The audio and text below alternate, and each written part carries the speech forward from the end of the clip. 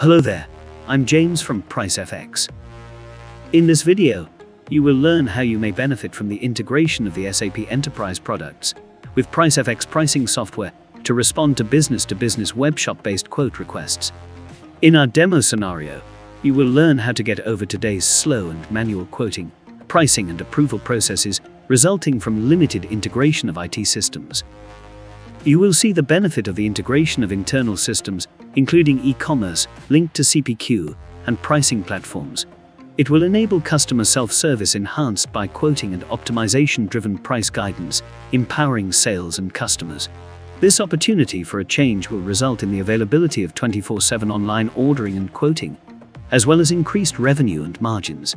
Also, you may improve customer satisfaction from self-service and your company is a more responsive vendor.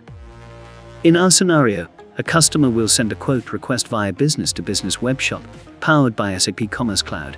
The quote will be processed by the account manager through SAP Sales Cloud, integrated with PriceFX pricing software, and the resulting quote will be presented back to the customer on the webshop.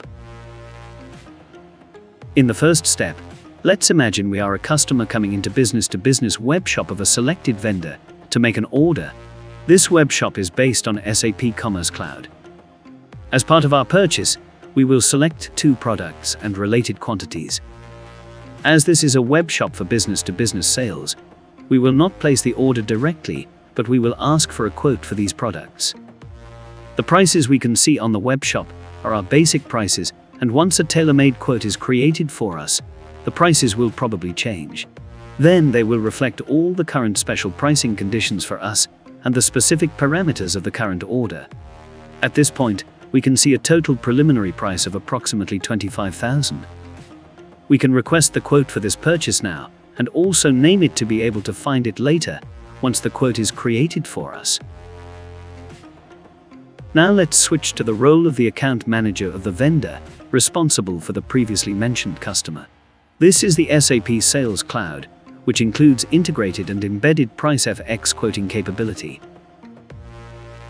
When we click the refresh button, the first item we can see is the customer's request for a quote, which was created on the webshop. This is the quote visualization through a price waterfall representing the overall order. We can see that all the details of the orders have been loaded from the quote request created on the webshop, and we don't have to fill them manually.